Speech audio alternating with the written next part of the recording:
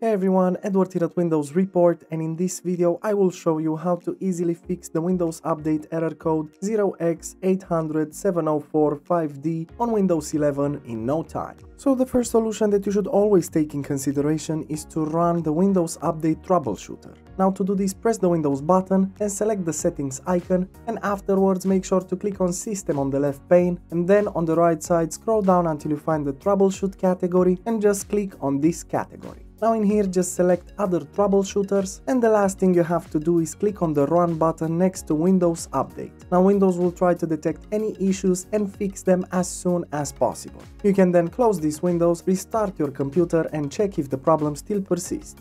Moving on, another useful solution is to run the hardware and devices troubleshooter. Now to do this, press the Windows button, then simply type cmd and then run command prompt as an administrator and in here in the command prompt window make sure to type in the following command. Now simply press on enter and you will see that a new window will appear. From here on just click on next and afterwards the tool will start scanning for any problems with your hardware and recommend a fix. After it is done, try again with Windows Update and check if the error still persists.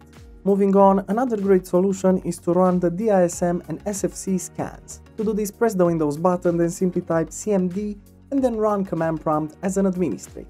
And in here in the command prompt window make sure to type in the following commands but press enter after each command. Now on pressing enter after each command you'll see that the scans will take a bit of time so don't lose patience. Just wait a bit until they're finished and you can just restart your computer and check if the error still persists. Next in line, another great solution is to perform a clean boot. To do this, press the Windows button, then simply type msconfig and then select system configuration from the search results. Now what you have to do in here is firstly navigate to the services tab and make sure to tick the box next to hide all Microsoft services. Now what you have to do is simply click on the disable all button and then just press on apply and ok to save the changes. Now you can just restart your computer and then check if the problem still persists. And lastly, another useful solution is to perform a system restore. To do this, press the Windows button, then type in rstrui and select it as a run command from the search results. Now in here just click on next and then choose the earliest point in time before the problem occurred, then click on next once again and lastly select the finish button to start the restoration procedure.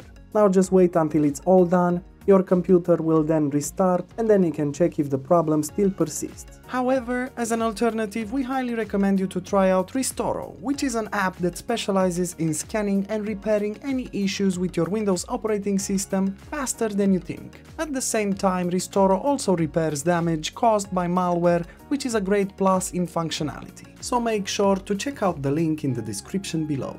And that's it, super simple, isn't it? Of course, if this video helped you, make sure to hit the like button and subscribe to our channel. Thank you.